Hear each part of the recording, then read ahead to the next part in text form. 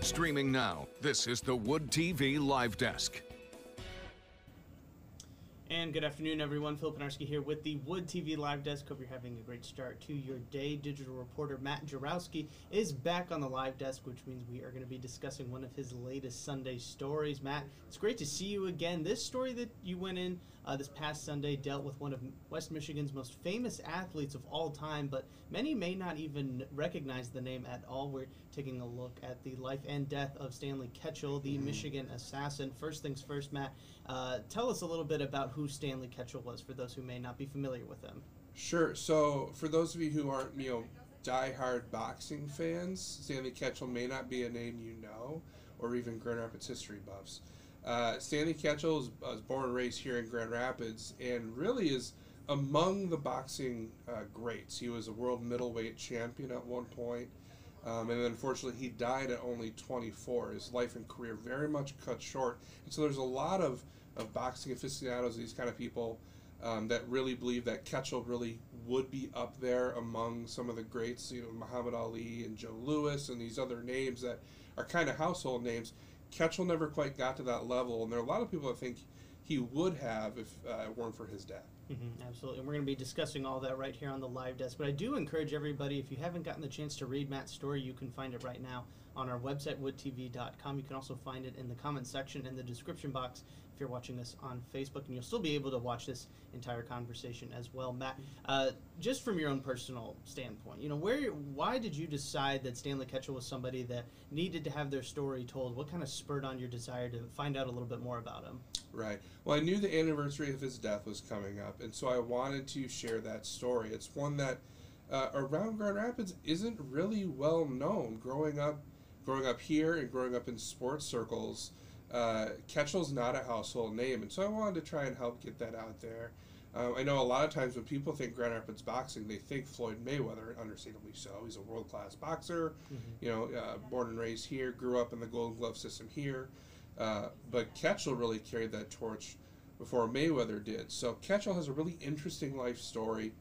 Uh, his family uh, of Polish immigrants grew up on the west side of Grand Rapids over on Stocking Avenue. Uh, at 14, he left home, uh, headed out west, kind of rode the rails for a little while, and ended up uh, being hired as a, as a bar bouncer. and of all places, that's where he honed his craft, so to say. He was not a classically trained uh, boxer athlete by any means, and it was the bar the bar owner that first realized, man, this kid can really throw a punch, mm-hmm. uh, and that's how he got his start in boxing. He, he started in local matches around Montana.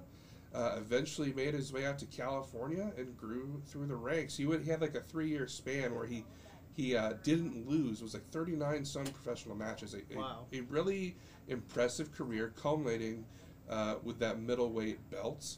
Uh, he had one extremely uh, the, the one historic fight he's most well known for is his bout with Jack Johnson, uh, who was the heavyweight champ at the time and was just untouchable. No one could beat him. Mm-hmm. Uh, Ketchel and him were friends, and they agreed to the fight. It was this big, massive build as a 20 round fight. Uh, and what makes it so interesting now is there are a lot of historians, there's been enough evidence uncovered that historians believe that fight was actually kind of fixed. The two men kind of went into the fight with a plan. Uh, they wanted it to go the full 20 so that the fight would get re-shown in theaters and they would make more money. So uh, it was kind of touch and go for a while, and then that script kind of fell apart in the 12 round. Uh, Ketchel infamously uh, knocking down Jack Johnson, and then within a matter of seconds, Johnson retaliated and uh, knocked Ketchel out cold. So it was a very, it's a very interesting uh, story. The video is online; it's buried on YouTube.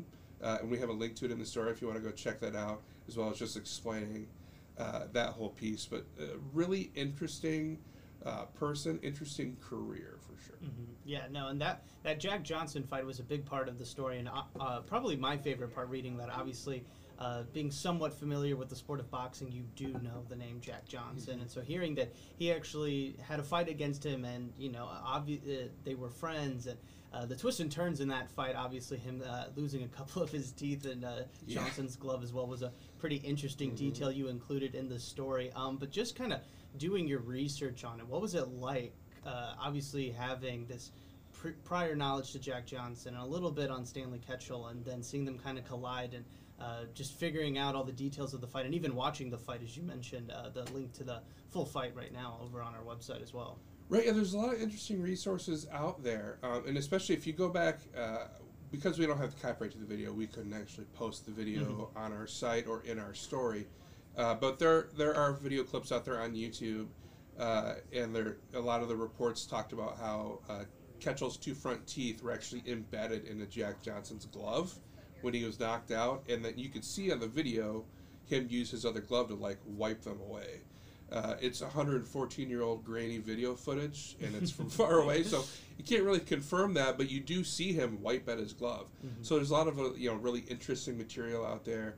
Um, I've actually done a previous story on Jack Johnson about a year ago because he has his own interesting ties to Michigan in the Battle Creek area. That story uh, also linked in here. But really, just talking about Jack Johnson, you know, those are two stories that intersect in a really fun way. Being able to talk about Ketchel's career and highlighting that on top of his really tragic death, um, it, was, it was a fun story to tackle. Mm-hmm. Right, and that kind of leads into what culminated the end of that story. Obviously, Yeah. the death of Ketchel. Um, you know, we're approaching the 113th anniversary of that. Yep. Uh, you, the way it was kind of laid out in the story, you know, obviously there's a lot of uh, hearsay and what, what co- sort of the reasoning behind Ketchel's murder was, and uh, you did a great job, really kind of explaining that we may never know, and there's all these Right. different twists and turns. What do you? Uh, when you were writing it and kind of just seeing all these different accounts of what happened or what may have happened, what was your initial thought to seeing that, and really how does that kind of, uh, if at all, impact the legacy of Ketchel? Honestly, Yeah, um, there there is some impact on his local legacy, and I'll get into that in a second. So real quick, so what had happened was uh, Ketchel eventually lost his middleweight title um, to a man named Sam Langford. He had fought a few more matches, but at this point, no, bear in mind he's only 24. But this is a time period where they're fighting bouts every four to six weeks. We, we don't Mhm. see that anymore. I mean, these guys are boxing regularly. So he had well over 50 professional matches by the time he was 24. Um, so th- that's something we just don't see now. So he was 24 but tired. Um, it w- it's a really rough lifestyle being a boxer, and at that point you're traveling by rail. Mhm. Uh, it's not nearly as comfortable um, or, or as convenient as things we have now. Uh, so he came home uh, to Grand Rapids for a while, um, just to kind of relax, rest his body, figure out where he wanted to go from here. There were talks about whether uh, he would go back to boxing. He might have been done. Um, but he also chose this other path too, and this is what we do know. Um, there's a family friend, uh, Pete Dickerson, who uh, owned a, a big ranch in Missouri, and he offered uh, Ketchel the opportunity. Say, hey, why don't you come down? You can be, you know, you can lead my ranch. You can be the boss. Um, see if you like it. That way you can come down here. If you don't want to go back to boxing, this could be the next chapter in your life. Mhm. Or if you don't like it, then you can go back and box or go do something else. Uh, and it all kind of uh, unraveled really quickly. So after a couple months, he went down to Missouri. At right around this this same time as Ketchel's getting acquainted on this ranch, uh, Dickerson also hires a man named Walter Dipley, uh, just as a ranch hand, and he uh, hires his girlfriend slash wife. It's very confusing there. Her name's Goldie Smith. Uh, to be a cook on her property. So there's a lot of different uh, stories thrown out there as far as what as far as what happened. What we do know is that uh, one morning, uh, October sixth, the day was, uh, whatever Sunday was. No, it wasn't the sixth, fifteenth. Um, Dipley came through the back door of the kitchen uh, and and shot Ketchel. It shot him through the shoulder and into his lung. Um, and then uh, the two robbed him and they left. They took off. Uh, so Ketchel died about 12 hours later. Uh, as far as why that happened, there's a lot of different stories out there. Uh, at first, uh, Dipley claimed self-defense. He said that Ketchel uh, actually pulled a gun on him first, um, and that and that could be true because he was known to carry a gun, a pistol, uh, and he did have it on him at the time of the shooting. Uh, then stories also came out later that Dipley uh, ambushed him because Ketchel allegedly raped Goldie Smith the night before.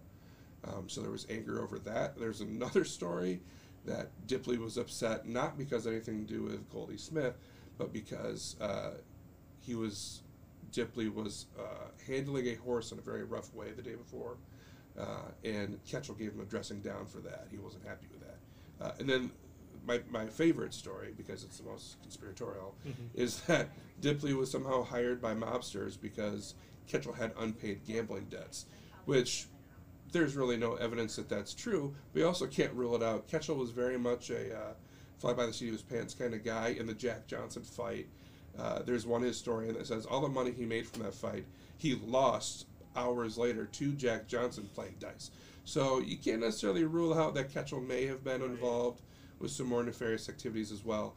But regardless, what happens is Ketchel ultimately passed away from his injuries. Uh, Dipley and Smith are both eventually arrested and charged uh, in that death. Mhm. Yeah, no, it definitely adds, an, as I mentioned, another layer of mystery kind of just surrounding the life of Stanley Ketchel and kind of makes it a little bit more interesting to read about and kind of just learn a little bit more about uh, a piece of West Michigan history. And uh, Matt, you know, obviously the story turned out really, really well. Um, again, I encourage everybody to check it out if you haven't already. But uh, with these stories, obviously you put a lot of time, a lot of effort, a lot of research into them. Uh, what was your biggest takeaway, I guess, from this story? Is there anything that maybe you uh, is always going to stick with you, or something that you just found absolutely entertaining and interesting that you d- had never heard of before? Yeah, uh, I would say the fact that Ketchel is a bit of an unknown around here. I mean, there are plenty of people that know who Stanley Ketchel is. Mhm. Um, but just as far as a Grand Rapids name, I don't feel like he's up there. Um, at the time, this was national news. When Ketchel was killed, obviously the fact that a, a major boxer was, was murdered is going to make a lot of headlines.